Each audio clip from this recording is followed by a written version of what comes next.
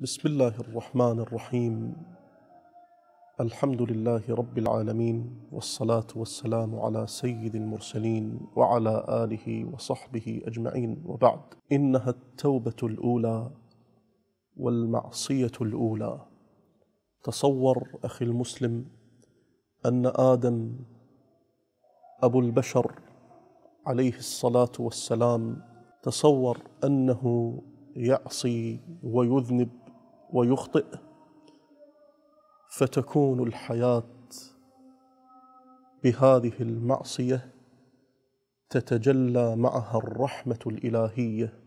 تجلت معها عندما تاب منها فهي المعصية الأولى التي لما عصى فيها آدم ربه عز وجل استحالت إلى طاعة.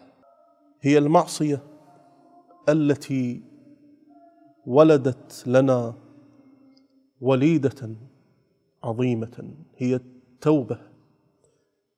لولا هذه المعصية لما كانت التوبة ولولا هذه المعصية لما كانت المغفرة. فأي معصية هذه؟ القدوة. ليس ملكا القدوة بشرا. آدم قدوة عظيمة لنا. لم؟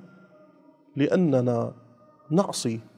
حتى لو كنت أبا فإني أعصي. حتى لو كنت مسؤولا فإنني أعصي. لكن يعلمني آدم أن المعصية إن جاءت بعدها توبة كانت هناك ثمرة. إنها الدار التي حلقت فيها السكينة بهذه التوبة ثم اجتباه ربه ثم أي بعد أن تاب وهدى.